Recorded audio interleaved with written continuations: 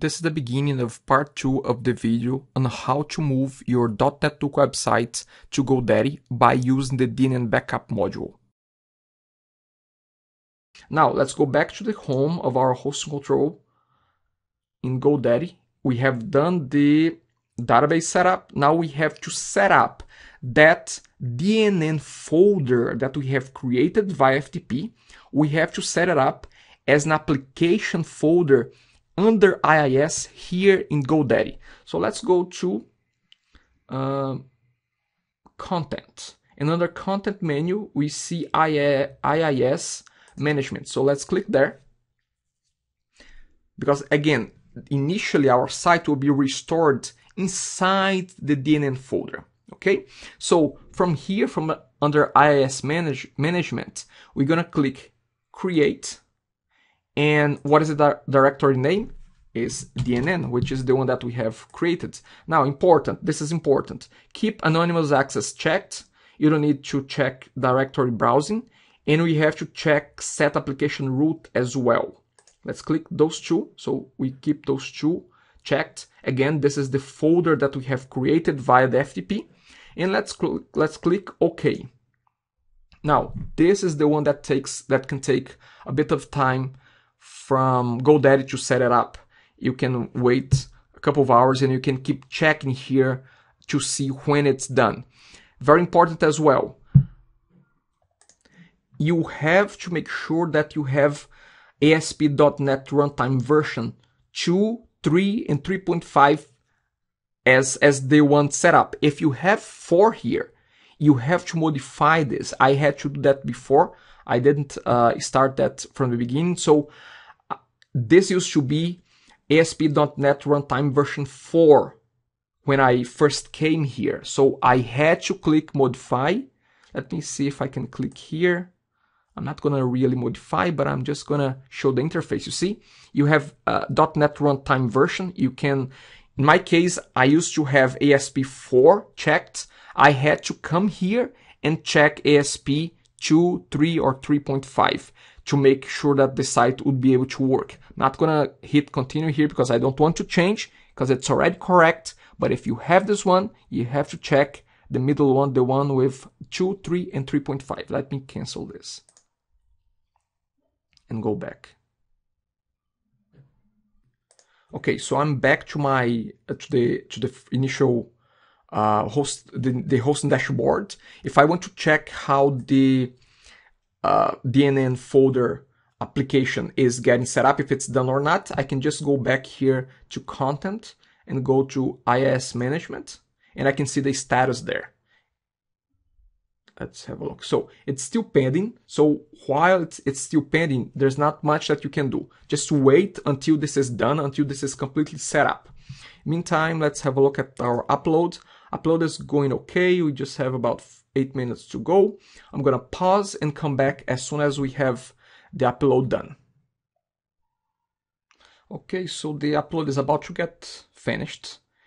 And once this is done, we will go back here to our control panel under GoDaddy, GoDaddy and let's click home because there is one more thing that we have to do with that DNN folder.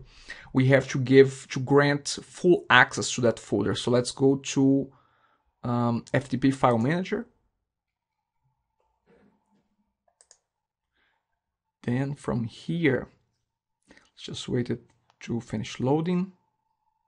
Now from here, I can check the DNN folder and I can change its permissions. So let's click permissions and I'm going to uncheck inherit. I'm going to check write, read and write. I'm going to keep read checked. I'm going to check write and I'm going to check also under reset all children to inherit. So all subfolders within DNN folder will get read and write access as well. So I'm just going to hit OK, wait for the permissions to be done. It may take a while, so just hold on. Okay, so permissions were updated. Now the uh, uh, we have a read and write access inside the DNN folder, which we needed. Now, the last thing that we have, we still have to wait is for IIS to be set up, which has, let's have a look here. So it's still, still pending setup. Again, nothing that we can do. We, we should only wait here, keep checking every now and then and wait. I mean, you can even wait up to 24 hours to get this completely set up. For now, nothing else to be done. Let's just wait. Okay, so now I have refreshed the site, the control panel under IIS management, and the folder is already set up. So we will try to run the, the restore wizard to try to restore our website. So I'm going to open another tab here in Firefox. I'm going to call dnn tutorial.com forward slash dnn, which is the folder that we have we have added the restore package slash and then we call the folder the backup folder so let's hit enter here and we got an error okay so let's try to recycle. Let's try to recycle the application pool of our website and see if that uh, could solve this problem. Let's go back here to IIS let's click on recycle app pool. Menu recycle application pool now. Okay. Again, that may help us with that error. Let's wait a little bit. Okay, so I have tried to recycle the application pool, but that error kept coming back. So I had to stop recording the video and I had to do some testing on my own. And finally, after a lot of attempts, a lot of uh, failures, I finally tried to flip the ASP.NET Runtime version back to 4. When I did that, I finally was able to have the backup uh, restore module working again. So now let's let's just keep going here. Again, what I have changed is I have modified it to make sure that the the backup restore application would, would run in GoDaddy. I had to change the runtime version of, of, of .NET and I'll just show quickly here. If I click modify, I can, before it was selected uh, this one here, 2, 3 or 3.5, then I selected 4 and it finally started to work fine. So let's just go back here. I'm not going to change that. I'm just going to go to the tab again and I'm going to access try to access again that URL. As you can see, we have the website slash DNN, which is our folder, slash backup, which is where the backup uh, restore package will run from. So let's just hit enter here and see how this will go. Okay, so this is what we want to happen. So we have the welcome message here from the module a restore wizard. So let's just click next. And let's try to restore our website to the new domain.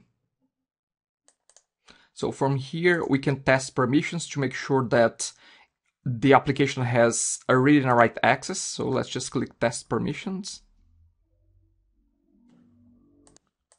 Okay, perfect. We got your site passed, which is great. Let's click next again. Okay, so now I, I have to upload my license. So I'm gonna click browse.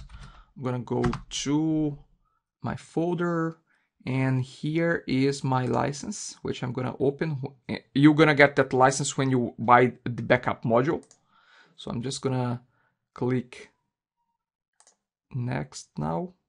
This is the end of part 2 of the video on how to move your DotNetNuke websites to GoDaddy by using the DNN backup module